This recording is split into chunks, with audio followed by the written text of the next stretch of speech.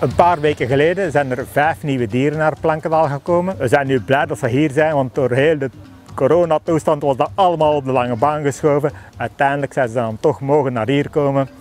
En uh, die zijn we nu aan het introduceren in onze groep.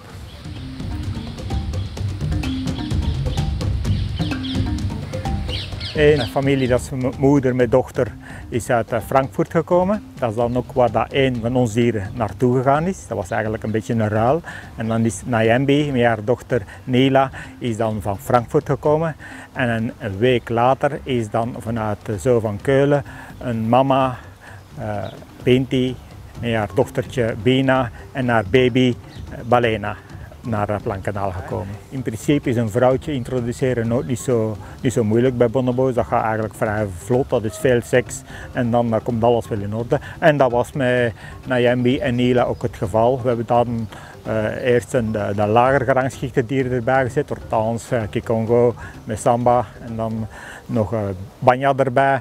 En dat is heel vlot gegaan. En dan na een uurtje of twee, als we zien dat dat goed gaat, dan hebben we de rest van de groep erbij gelaten. De groep is nog nooit zo groot geweest. We hebben 18 dieren, baby's inbegrepen natuurlijk.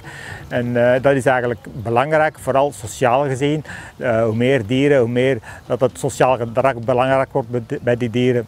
Ook voor de kweek is dat dan heel belangrijk, want vrouwtjes kiezen altijd welke mannetjes dat ze willen met paren. En uh, om de, de, kweek te verzekeren is dat belangrijk van een zo groot mogelijke groep te hebben. Ook in de natuur zijn die groepen zo groot en dan kunnen die ook kiezen van ah, vandaag ga ik met de dier mee en vandaag gaan we dat dier, eh, met, die, met dat dier mee. En dat is hier ook een klein beetje het geval met al deze verschillende zalen hier, dat de dieren een beetje kunnen kiezen bij wie dat ze gaan zitten.